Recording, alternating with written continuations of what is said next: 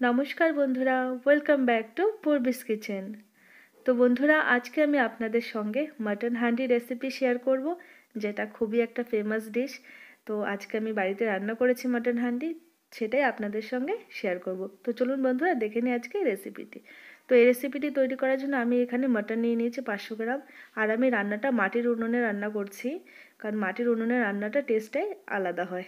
তো দেখুন, তার জন্য আমি এখানে হান্ডিটা বসিয়ে দিয়েছি। তার মধ্যে আমি বেশ খানিকটা সর্ষের তেল দিয়ে দিয়েছি। তো তেলটা গরম হয়ে গেছে, আমি এখন এর মধ্যে গোটা গরম মশলা দিয়ে দিয়েছি, এলাচ, দারচিনি, লবঙ্গ, তারপরে একটা তেজপাতা দিয়ে দিলাম আর গোটা জিরে দিয়ে দিয়েছি। এবার ফোড়নটাকে আমি ভালো করে ভেজে নেব কিছুক্ষণ। তো দেখুন বন্ধুরা, ফোড়নটা ভাজা হয়ে গেছে। তারপর আমি এর মধ্যে পেঁয়াজ কুচনো কুচনো পেঁয়াজ দুটো ছিল, আর আমি মোট তিনটে পেঁয়াজ দিয়েছি, দুটো কুচনো ছিল, আর একটা আমি পেস্ট করে নিয়েছিলাম। তো একসঙ্গে ওটা দিয়ে দিলাম পেঁয়াজটা তেলের মধ্যে।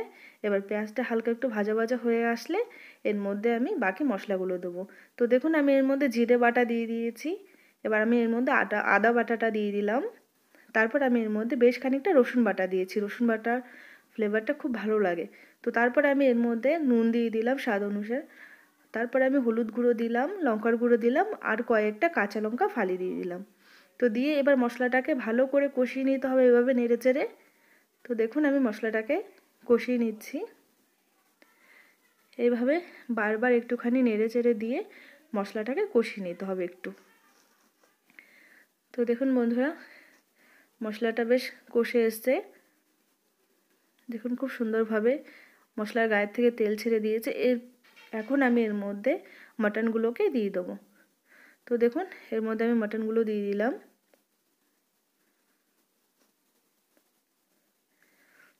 মাটনটা দিয়ে আবারও মশলার সঙ্গে ভালো করে মিশিয়ে নিতে হবে। তো দারুণ হয় এই রেসিপিটা আমি প্রথমে একটুখানি মাটনটাকে কষিয়ে নিয়ে তারপর এটাকে দমে বসিয়ে দেবো। তো মাটির হাঁড়ি, মতলব মাটির হাঁড়িতে হাঁড়ি বা হান্ডি যাই হোক যেটাই বলে, তো তার মধ্যে রান্নাটা সত্যি খুবই দুর্দান্ত হয়। তো তারপর দেখো আমি এখানে টক দই দিয়ে দিয়েছি কিছুটা, একটা গোটা রসুন দিয়ে দিয়েছি আর একটু ভাজা মশলা দিয়েছি। ভাজা মশলার মধ্যে ছিল গোটা জিরে, গোটা ধনে, দুটো শুকনো লঙ্কা দিয়ে আমি ভেজে শুকনো খোলায় বেটে নিয়েছিলাম। সেই ভাজা মশলাটাকেই দিলাম। এটা অপশান যদি আপনারা না চান, নাও দিতে পারেন বা টক দইটাও যদি ইচ্ছে না হয় স্কিপ করতে পারেন। তো যাই হোক, তার ওগুলো দিয়ে আমি এবার আবারও ভালো করে মাংসটাকে একটুখানি নেড়ে চেড়ে দিলাম। দিয়ে এবার কিছুক্ষণ কষিয়ে নেব। তো দেখুন, বারবার এইভাবে নেড়েচেড়ে দিয়ে কষিয়ে নিতে হবে।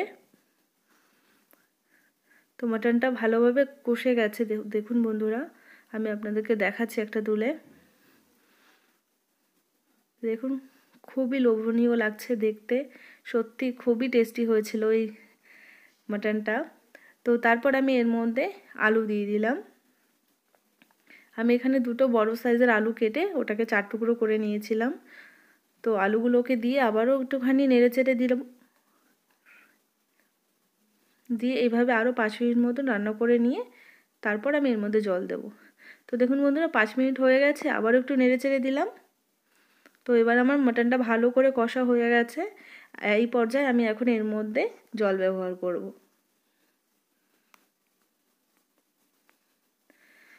খুবই টেস্টি লাগছে, দেখুন মানে দেখতেই এত দুর্দান্ত লাগছে তো খেতে কতটা টেস্টি হয়েছিল।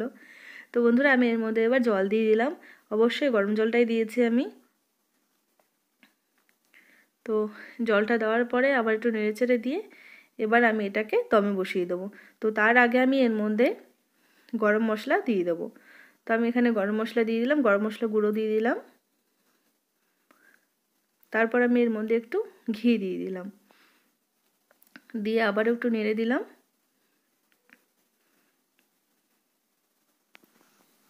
তো বন্ধুরা, এবার আমি দেখুন আটা মেখে নিয়েছি। আটাটাকে আমি হাঁডির উপর থেকে ভালো করে এভাবে দিয়ে দিচ্ছি। তারপর আমি ঢাকাটা দিয়ে দেবো। তাহলে যে ভাবটা থাকে ওটা বেরোবে না আর খুব ভালোভাবে মাটনটা সেদ্ধ হয়ে যাবে। এইভাবে আমি কুড়ি থেকে পঁচিশ মিনিট পর্যন্ত এভাবে রান্না করে নেব আর আঁচটাকে খুবই ধিমিয়ে রাখব। তো দেখুন বন্ধুরা, আমি পঁচিশ মিনিট মতো রেখেছিলাম। পঁচিশ মিনিট পর আমি নামিয়ে নিলাম। এবার আমি ঢাকাটাকে খুলে দেবো। একটা চাকু বা একটা চামচের সাহায্যে এভাবে হালকা এক পাশ থেকে চাপ দিলে খুলে যায় খুব ইজি তো দেখুন বন্ধুরা, ওয়াও এত সুন্দর লাগছে দেখতে মানে কিছু বলার নেই আর মানে এত টেস্টি হয়েছিল না বন্ধুরা, কি বলব? আপনারা অবশ্যই একবার ট্রাই করে দেখবেন, খুবই টেস্টি একটা রেসিপি তো যাই হোক, তো আমার মাটন হান্ডিটা রেডি হয়ে গেছে। যদি আপনাদের আমার রেসিপিটি ভালো লেগে থাকে, তো প্লিজ প্লিজ প্লিজ বন্ধুরা, আমার চ্যানেলটিকে সাবস্ক্রাইব করে দেবেন, আর কমেন্ট করে অবশ্যই জানাবেন। ধন্যবাদ।